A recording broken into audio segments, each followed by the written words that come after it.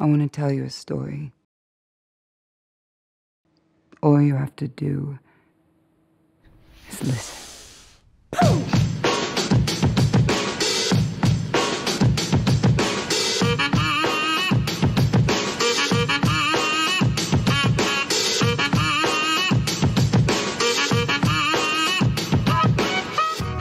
I want to know is there anyone out there that knows anything, anything at all